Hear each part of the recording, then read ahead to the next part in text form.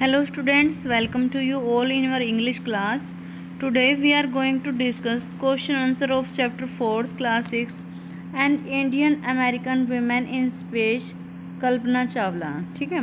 Indian American क्यों थी? क्योंकि इंडिया में इनका बॉर्न हुआ था और अमेरिकन की इन्होंने सिटीजनशिप ले ली थी, यानी नागरिकता ले ली थी वहाँ की, और वहीं पर वो रहती थी और वहीं से वो स्पेस में गई थी। ठीक है?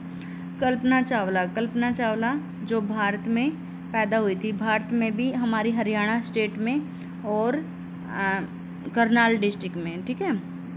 ट्वेंटी एट स्टेट है इंडिया में तो एक हरियाणा स्टेट है। हरियाणा स्टेट में इनका जन्म हुआ था कल्पना चावला का, ठीक है? जो पहली भारतीय महिला थी जो अंतरिक्ष में गई थी, ठीक है? Where was Kalpana Chawla born Kalpana Chawla का जन्म कहाँ हुआ था? और why was why is she called an Indian American उनको इंडियन और अमेरिकन देखो इंडिया भी अलग कंट्री है और अमेरिका भी अलग कंट्री है, ठीक है? इंडियन भी कहा जाता है और अमेरिकन भी कहा जाता है, ऐसा क्यों है? तो ये देखो क्यों है ऐसा? आंसर देखें Kalpana Chawla was born in Karnal Haryana Haryana के करनाल डिस्ट्रिक्ट में उनका जन्म हुआ था। She was called an Indian American उनको इंडियन अमेरिकन कहा जाता है। क्यों? बिकॉज़ क्योंकि सी वैन टू यूएसए वो यूएसए गई थी and became its naturalized citizen और वहाँ की वो सिटीजनशिप उन्होंने ले ली थी, यानी वहाँ की नागरिकता ले ली थी। क्वेश्चन नंबर सेकंड देखिए when and why did she go to the USA वो यूएसए में कब और क्यों गई? हु डिड सी मैरी और उसने किन से शादी की? ठीक है? जो पैराग्राफ टू और थ्री में आपका आंसर मिलेगा बुक में। तो she went to U S A after completing a bachelor of science जिसको हम बोल देते हैं बी एस सी ठीक है?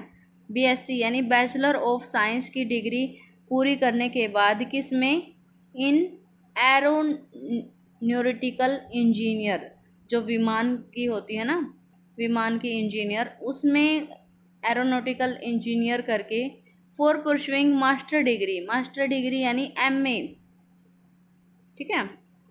एम ए नहीं होगी साइंस में तो एम एस सी होगी। ठीक है? एम ए होता है मास्टर ऑफ़ आर्ट और एमएससी होता है मास्टर ऑफ़ साइंस ठीक है ना? तो वो साइंस पढ़ रही थी क्योंकि उन्होंने बीएससी कर ली थी बैचलर ऑफ़ साइंस की डिग्री इंडिया से ले ली थी और हायर डिग्री के लिए, यानी किसके लिए मास्टर डिग्री लेने के लिए वो कहाँ पे गई थी? यूएसए में गई थी, ठीक है ना? She married flight instructor Jean Pierre Harrison तो वहीं पर उन्होंने एक किससे शादी की? फ़्लाइट इंस्ट्रक्टर से, जिनका नाम था जीन पियरे हैरिसन ठीक है? अब क्वेश्चन नंबर थर्ड देखें। How did she become an astronaut वो एस्ट्रोनॉट कैसे बनी? ठीक है?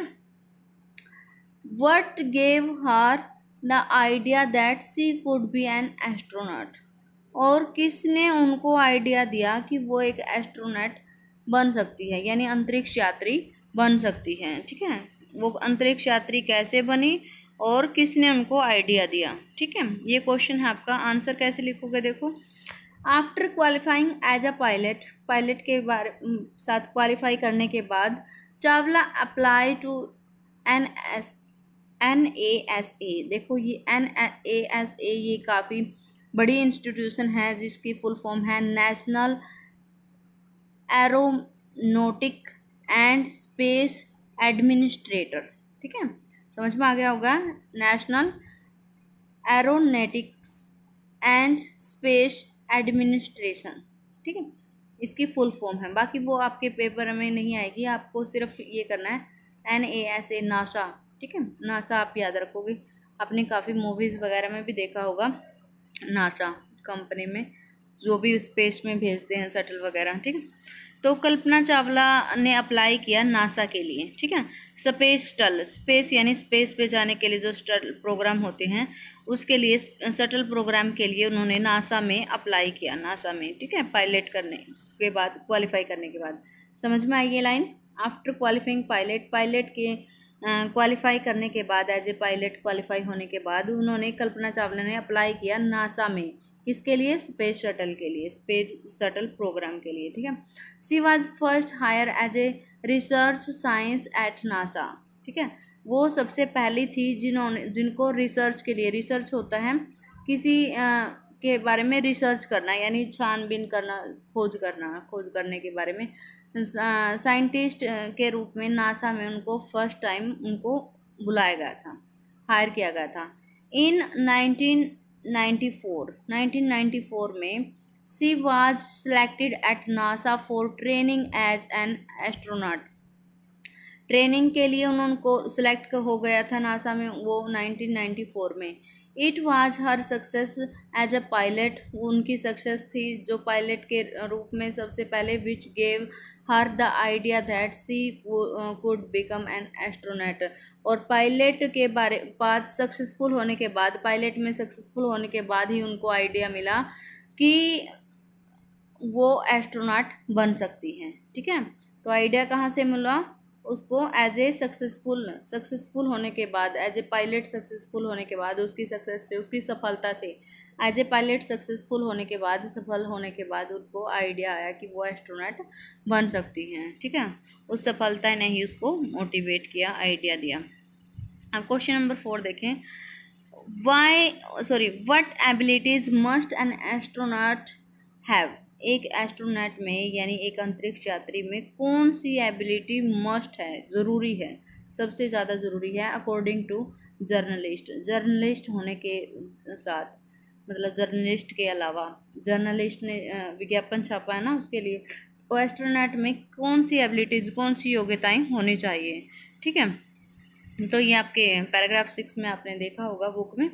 अकॉर्डिंग टू जर्नलिस्ट जर्नलिस्ट के अनुसार it takes enormous ability to be an astronaut. Astronaut में काफ़ी इनॉर्मस एबिलिटी होनी चाहिए। जैसे an astronaut must know a lot of about everything उनको हर चीज़ में एवरीथिंग हर चीज़ के बारे में उनको नॉलेज होनी चाहिए ज़रूर। कहाँ से? फ्रॉम बायोलॉजी बायोलॉजी से लेकर, यानी जीव विज्ञान से लेकर टू एस्ट्रोफिजिक्स एस्ट्रोफिजिक्स से लेकर to aeronautical engineer aeronautical, aeronautical engineer होता है, जो विमान वगैरह होते हैं ना, उसकी इंजीनियर करना, ठीक है ना? उसके बारे में, से, जीव विज्ञान से लेकर एस्ट्रोफिजिक्स और एस्ट्रोनोटिकल इंजीनियर में, को, में के बारे में मतलब हर क्षेत्र के बारे में उसको नॉलेज होनी चाहिए, जो अंतरिक्ष यात्री होता है। किसके अनुसार? जर्नलिस्ट के अनुसार। ऐसी बातें किसने कही? है जर्नलिस्ट ने। In this age of super specialization और जो आजकल जो एज चल रही है, जो युग चल रहा है सुपर स्पेशलाइजेशन का you must have encyclopaedic knowledge to be an astronaut encyclopaedia हम कहते हैं ना साइक इनसाइक्लोपीडिया पे देखा हमने। इनसाइक्लोपीडिया आता है विश्व कोश ठीक है? जैसे डिक्शनरी होती है ना शब्द शब्दकोश। ऐसे इनसाइक्लोपीडिया पे हम जाँच करते हैं, कोई भी अगर हमें तथ्य नहीं मिलता तो इनसाइक्लोपीडिया नॉलेज होनी चाहिए to be an astronaut astronaut को बनने के लिए, ठीक है? अब नेक्स्ट क्वेश्चन देखें। Describe Kalpana Chawla's first mission in space अब आपने डिस्क्राइब करना है कल्पना चावला का फ़र्स्ट मिशन क्या था?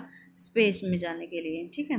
तो आंसर कैसे लिखोगे आप? Kalpana Chawla, first mission was in space shuttle Columbia. तो कौन सा था?